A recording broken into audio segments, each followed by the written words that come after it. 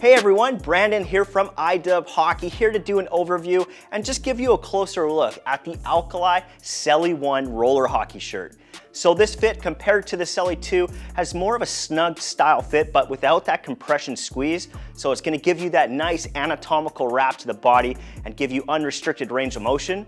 For your materials, we're seeing a 16 way stretch Lycra. So you have great mobility in all directions like I mentioned before, giving you that unrestricted range of motion. It's very soft and comfortable as well, so you're getting out of the box comfort. Now in terms of your protection, you can see on the front chest here, this is Alkali's 3D Flex foam.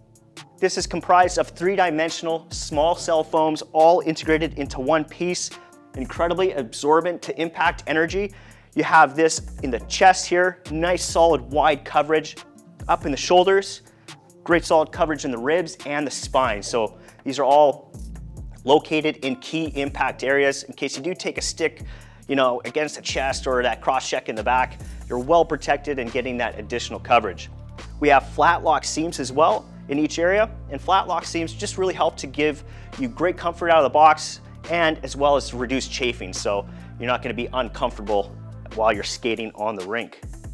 Overall, if you're looking for any more information, you can hit the link in our description below.